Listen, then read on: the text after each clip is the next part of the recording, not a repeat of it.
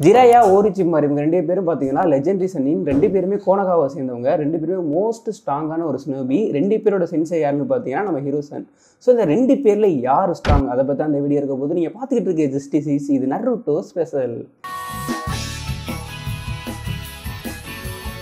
first of all எல்லாருமே கேட்டோன்னே Jiraiya தான் ஸ்ட்ராங் அப்படிங்கிற மாதிரி சொல்லிட்டீங்க. பட் அப்படி இல்லாமல் அனலைஸ் பண்ணலாம். எந்த அளவுக்கு உங்களுக்கு சக்கரா இருக்குது எத்தனை பேட்டில் பண்ணியிருக்காங்க. ஸோ அவங்க எந்த மாதிரியான டிஃபிகல்ட்டான பேட்டிங்கில் வின் பண்ணியிருக்காங்க அதெல்லாம் ஒரு அனலைஸ் பண்ணிட்டு தான் நான் யார் ஸ்ட்ராங்னு சொல்லலான்ட்டு இருக்கேன். ஏன்னா ஃபஸ்ட்டு எல்லாருமே ஜிரையா வின் பண்ணிடுவான்னு சொல்கிறது ஒரு காரணம் என்னென்னு பார்த்தீங்கன்னா நருட்டோ வந்து கேப்சர் பண்ணுறதுக்காண்டி ஹிட்டாச்சி கிசாமி வந்திருப்பாங்க. ஸோ அப்போ வந்து ஜிராயா ஜிரையா தான் அங்கே இருப்பார். அந்த டைம் என்ன பண்ணுவாருன்னு பார்த்தீங்கன்னா ராக் மவுத்து யூஸ் பண்ணி அவங்கள அப்படியே கேப்சர் பண்ணிடுவார். அங்கே எந்த ஒரு ஜுட்ஸுமே பெருசாக யூஸ் பண்ண முடியாது. ஸோ செகண்ட் என்னென்னு பார்த்தீங்கன்னா ஹிட்டாச்சியோட கண்ணை பார்த்து யாருமே பேச மாட்டாங்க. பார்த்தாங்கன்னா அவ்வளோதான் அவனோட நெஞ்சிட்ஸுக்குள்ளே மாட்டிப்பாங்க. ஸோ பயங்கரமாக நியூஸ் ஏற்படுத்தியிருப்பான். நம்ம கக்காசியை வேறு லெவலில் அவன் வந்து வச்சு செஞ்சிருவான்.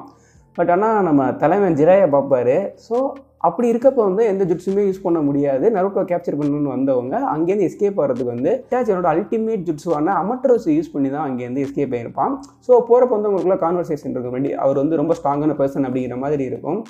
மேபி அவங்க ரெண்டு பேரும் சேர்ந்து ஜிரையாவை வந்து பேட்டில் பண்ணியிருந்தாலுமே ரெண்டு மேக்ஸிமம் என்னோட ஒரு கணிப்புப்படி மூணு பேருமே இறந்துருப்பாங்க அப்படிங்கிற மாதிரி தான் நான் நினைக்கிறேன். கிசாமி அதுக்கப்புறமா இட்டாச்சி நம்ம ஜிரேயா சேர்த்து.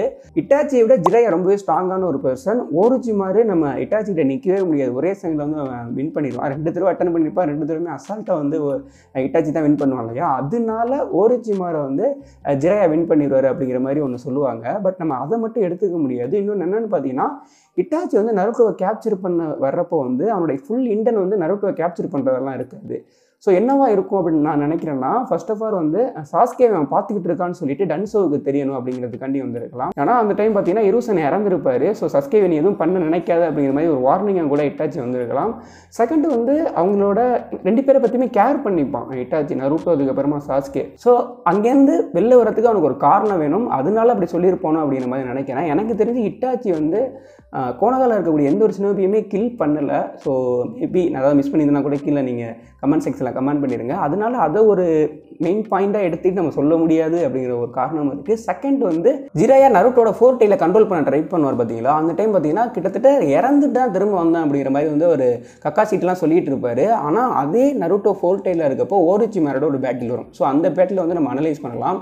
ஏன்னு பார்த்தீங்கன்னா அந்த டைம் பார்த்தீங்கன்னா ஓரிச்சிமாருக்கு ரெண்டு கையுமே சீல் பண்ணியிருப்பாங்க நருட்டோவுக்கு அதே மாதிரி சேம் ஃபோர் டைல் வந்து அந்த பேட்டில் இப்போ வந்து ஓரிச்சிமார் வேற லெவலில் பேட்டில் பண்ணுவான். நருட்டோ வந்து டைல் பீஸ்ட்டை யூஸ் பண்ணுறப்போ கூட அவன் வந்து ரசமரோட வச்சு அதை ஸ்டாப் பண்ணுவான். அதுக்கப்புறம் பார்த்தீங்கன்னா நருட்டோ போயிட்டு பஞ்ச் பண்ணிடுவான் அந்த ஃபோர் டைலையே ஸோ அப்போ வந்து என்னதான் அவனை வந்து அடிச்சு ரெண்டாக கிழிச்சாலுமே திரும்ப ரீபில்ட்டில் வந்து அவன் வந்துக்கிட்டே இருப்பான். ரொம்ப இன்டெலிஜென்ட்டான ஒரு சினோபி ஸோ அதுக்கப்புறம் அவனோட ரொம்ப ஸ்ட்ராங்காக இருக்குது நான் என்னென்னு பார்க்குறேன்னா அவன் வந்து ஸ்வாட்ஸ் ஆஃப் குசினாக்கி அவன் யூஸ் பண்ணுவான். ஸோ அதை யூஸ் பண்ணி தான் அந்த ஹிரூசனையுமே அவன் கில் பண்ணியிருப்பான். அதாவது பார்த்தீங்கன்னா எதிர்பாராத டைமில் அண்டர் கிரவுண்ட்லேருந்து வந்து அட்டாக் பண்ணுறது ஸோ அப்படி நருட்டோ வந்து ஃபோர்டில் அட்டாக் பண்ணி ரொம்ப தூரம் வர வச்சிருவான். ஸோ ஃபோர்டிலே பயங்கரமாக வந்து ஒரு மாதிரி ஸ்டன் ஆகிடும் அப்படிங்கிற மாதிரி தான் சொல்லலாம்.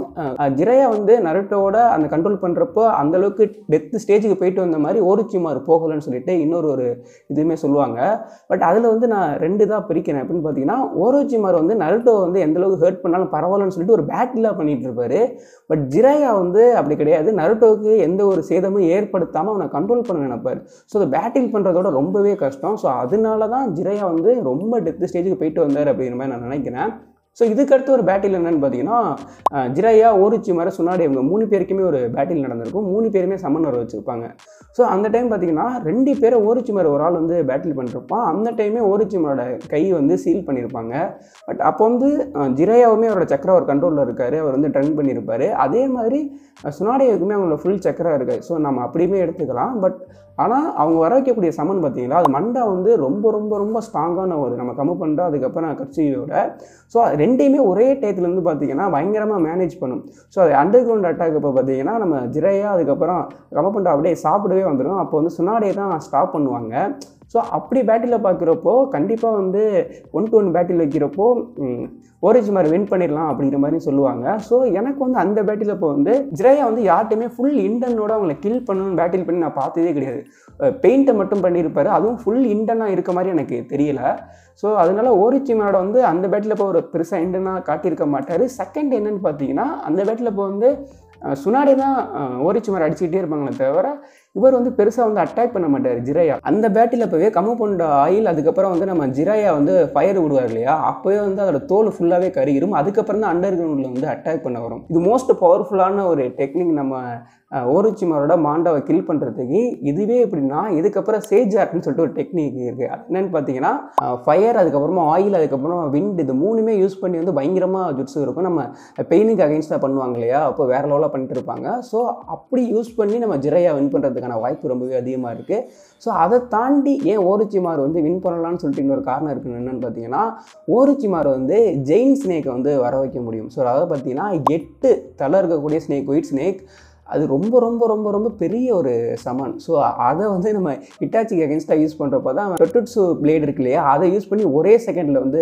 காலி பண்ணிடுவான் மேபி அந்த ஒயிட் ஸ்னேக் அகேன்ஸ்டாக ஜிரையா வந்து எந்த அளவுக்கு பேட்டில் பண்ணியிருப்பாரு அப்படிங்கிறது நமக்கு ஒரு டவுட்டு தான். ஏன்னா கட்சிக்கு கமகுண்டாவோட ரொம்ப ரொம்ப ரொம்ப ரொம்ப பெரிய ஒரு ஜெயிண்ட் வந்து நம்ம ஒயிட் ஸ்னேக் ஓரிஜிமார் வந்து என்னதான் இறந்தாலும் திரும்ப ரீபர்த் மூலமாக வந்துக்கிட்டே இருப்பான். அவன் அவ்வளோ சீக்கிரம் சாக மாட்டான். ஸோ இதுக்கடுத்து ஒரு ஜுட்ஸ் என்னென்னு பார்த்தீங்கன்னா ஓரிஜிமாருக்கு வந்து எடோ டென்ஸை யூஸ் பண்ணி நம்ம ஜிரையோட பேட்டில் பண்ணுறப்போ ஜிரையா என்ன பண்ணுவார்னு சொல்லிட்டு ஒரு கொஸ்டின் இருக்குது ஏன்னா அவன் ஹாஸ்திராமா அதுக்கப்புறமா டோபிராமா ரெண்டு பேரையும் வர வச்சு தான் நம்ம இருசனோட பேட்டில் பண்ணியிருப்பான். ஸோ அதே ட்ரிக்கை வந்து ஜிரையாட்டை யூஸ் பண்ணியிருந்தானா கொஞ்சம் கஷ்டமாக தான் இருந்திருக்கும். நம்ம ஜிரேயாவுமே ரொம்ப ரொம்ப லேசான ஒரு பர்சன் நினைக்க முடியாது. ஏன்னா அவரோட சக்கரம் ரொம்ப ரொம்ப ஸ்ட்ராங் அவரோட டைஜஸ்ட் வந்து வேற லெவலான ஒரு பவர்ஃபுல்லாக இருக்கும். இட்டாச்சி வந்து மாங்கிக்கோ சரிங்கன் தான். பட் பெயின் வந்து ரெனிகன். ஸோ ரெனிகனுக்கு அகைன்ஸ்டாகவே பேட்டில் பண்ணவர் வந்து நம்ம ஜிரையா.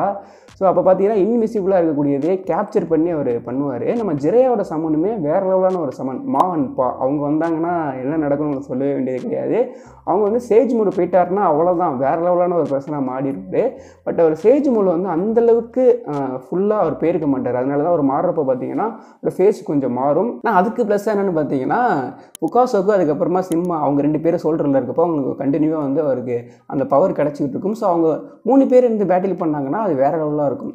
ஃப்ராக் சாங்கெல்லாம் இருக்குது அதெல்லாம் சிங்க் பண்ணி அவங்கள ஈஸியாக கேப்சர் பண்ணிடலாம்.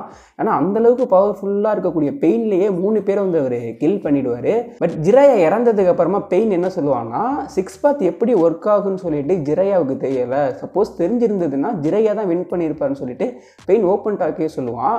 ஆனால் பெயின் எந்த அளவுக்கு ரொம்ப ஸ்ட்ராங்கான ஒரு பர்சன் பார்த்தீங்கன்னா நம்ம நருடையில் வர வச்சு தான் பெயினோட வந்து அட்டாக் பண்ணியிருப்பான். ஸோ எல்லா டைமும் அந்த டைமில் அவனுக்கு வந்துடும் ஸோ நருட்டை வந்து ரசிங்கன் யூஸ் பண்ணி தான் தேவா பார்த்து வந்து பிரேக் பண்ணுவான். ஸோ அதே மாதிரி நம்ம ஜிரையாவிலையும் ரசிங்கன் யூஸ் பண்ண முடியும். ஸோ அந்த ரசிங்கன் வந்து பெருசாக வந்து ஓரிச்சிமாரை ஸ்டாப் பண்ணிட முடியாது. அதை தாண்டி வந்து அவர் ரொம்ப மேசிவ் ரசிங்கனே அவரால் பண்ண முடியும். ஸோ அதெல்லாம் யூஸ் பண்ணி பேட்டில் பண்ணுறப்போ ஓரிச்சிமார் என்ன ஆவானே தெரில ஸோ இது ஒரு மைனஸாகவும் இருக்குது ஓரிச்சிமாரை பார்க்குறப்போ ஆனால் ஓரிச்சிமாரோட சக்கரவுமே ரொம்ப ஸ்ட்ராங்கான சக்கரம். ஆனால் வீக் வீக்கான பர்சன் ஸோ அவனோட சக்கரை வச்சு பெரிய பாறையெல்லாம் கூட பயங்கரமாக அவன் வந்து ட்ரெஸ்டைட் பண்ணிடுவான். அவனால் வந்து வின்ற பயங்கரமாக ஒரு மிகப்பெரிய ஒரு அலைவெல்லாம் ஏற்படுத்த முடியும். அந்தளவுக்கு அவனுக்கு ஸ்ட்ராங்கான பர்சன் தான் ஓரிச்சி மாறும். பட் ஜிரையாவை கம்பேர் பண்ணுறப்போ நான் என்ன நினைக்கிறேன் அப்படின்னா அந்த டைமில் எப்படி அந்த ட்ரிக்கை யூஸ் பண்ணுறாங்க அதை பொறுத்து தான் இருக்குது ஆனால் ஜிரையா டக்குன்னு வந்து அவரால் சேஜ் மூட போயிட முடியாது. அது கொஞ்சம் டைம் இருக்கும். பட் இவனோட ஹைட் அட்டாக் இருக்கு இல்லையா? ஸ்வாட்ஸ் ஆஃப் குசனாக்கி ஸோ அது மோஸ்ட் பவர்ஃபுல்லான ஒரு அட்டாக்கை பார்க்குறேன். அதுக்கப்புறம் பார்த்தீங்கன்னா எடோ டென்ஸு ஸோ இந்த ரெண்டு விஷயம் மட்டும் எப்படி அவர் ஹேண்டில் பண்ணியிருப்பார் அப்படிங்கிற மாதிரி தெரியல. மற்றபடி டைஜூட்ஸ்லாம் ஜிரையை அடிச்சிக்கவே முடியாது. வேற லெவலில் பண்ணிடுவார் ரெண்டு பேரையும் கம்பேர் பண்ணுறப்போ காமனாக வந்து ஜிரையா நிறைய மிஷன்ஸ் வந்து முடிச்சிருப்பார். ஸோ அதெல்லாம் கணக்கில் எடுத்துக்காம ஸோ அந்த டைமில் எந்த அளவுக்கு ஸ்மார்ட்டாக அவங்க பேட்டில் பண்ணுறாங்களோ அதை பொறுத்து தான் அவங்க ரெண்டு பேரில் யாராவது ஒருத்தவங்க வின் பண்ணுவாங்க அப்படிங்கிற மாதிரி நான் நினைக்கிறேன். ஸோ நீங்கள் என்ன நினைக்கிறீங்க? யார் வின் பண்ணுவார்னு நினைக்கிறீங்க? வின் பண்ணுவாங்கன்னு நினச்சிங்கன்னா அது என்ன காரணம் அப்படிங்கிறத சேர்த்து நம்ம கமெண்ட் செக்ஷனில் கமெண்ட் பண்ணிவிட்டு அப்படி நம்ம சேனலையும் சப்ஸ்கிரைப் பண்ணிடுங்க